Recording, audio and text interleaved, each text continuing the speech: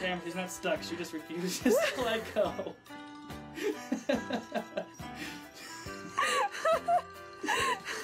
let go! Let go, kitty. she is bound and determined.